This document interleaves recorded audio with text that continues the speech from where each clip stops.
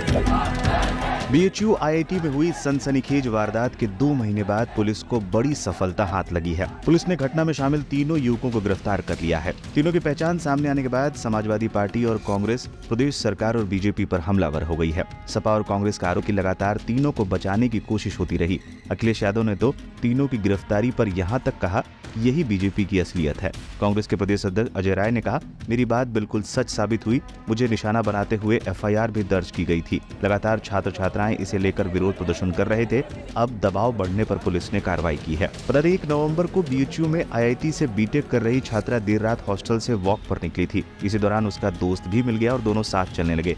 IIT के पिछले हिस्से में स्थित करमनबीर बाबा मंदिर से थोड़ा पहले बुलेट सवार तीन युवक पहुँचे और दोनों को पकड़ लिया। तीनों युवकों के पास असलहे थे। जिनके बल पर तीनों ने छात्र और छात्रा को धमकाया, मोबाइल छीन लिया। छात्रा का मुँह दबाकर अलग ले गए और अश्लील हरकतें की। छात्रा के कपड़े उतरवाए गए और वीडियो बनाया गया। उसके साथ गैंगरेप किया गया।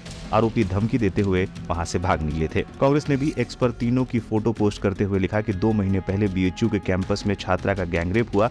इस मामले को पहले दबाने की कोशिश की गई।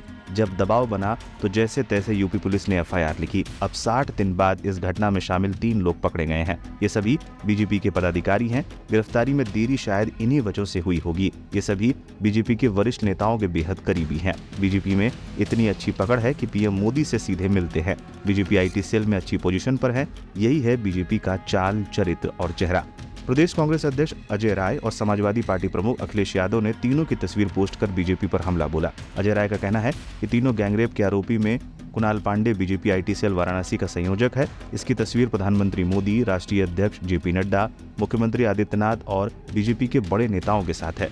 दूसरे आरोपी सक्षम पटेल बीजेपी का पदाधिकारी है और वर्तमान काशी प्रांत अध्यक्ष दिलीप पटेल का सहयोगी और करीबी है। सपा प्रमुख अखिलेश यादव ने तीनों आरोपियों की फ़ोटो एक्स पर पोस्ट करते हुए लिखा कि ये बीजेपी के दिग्गज नेताओं की छत्रछाया में सरेआम, पनपते और घूमते भाजपाइयों की वो नस्ल, जिनकी तथाकथित ज़ीरो टॉलरेंस सरकार में दिखावटी तलाशी जारी थी, लेकिन पुख्ता सबूतों और जनता के बीच बढ़ते गुस्से के दबाव में बीजेपी सरकार को आखिरकार इन दुष्कर्मियों को गिरफ़्तार करना ही पड़ा। ये वही भाजपाई हैं जिन्होंने बीएचयू की छात्रा के साथ अभद्रता की सभी सीमाएँ तोड़ दी थी।